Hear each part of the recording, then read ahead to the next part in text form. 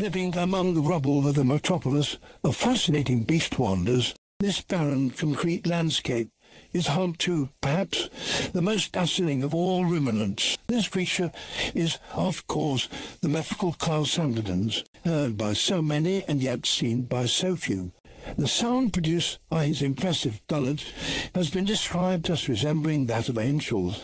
Gregarious by nature, his appetite is large and at times may seem excessive. Here he can be observed enjoying a nice snack, preceded by a reputation for powerful displays of virility.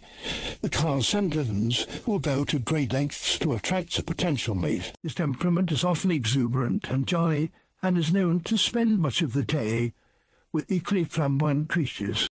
However, in times of stress, the Kyle Sandilands has been observed purposely breathing in the smoke of dried leaves.